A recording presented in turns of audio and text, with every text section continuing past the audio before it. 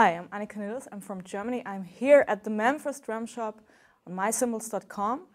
I've played for you the Meinl Byzance 14-inch dark hi-hat. Uh, the name sounds dark, but the hi-hat um, sounds loud, not that dark like, for example, the extra dry hi-hat from Meinl cymbals. It's, this hi-hat has more of these higher frequencies in it. Uh, it sounds really loud. Um, if you like this hi-hat, you can get this exact cymbal only on mycymbals.com.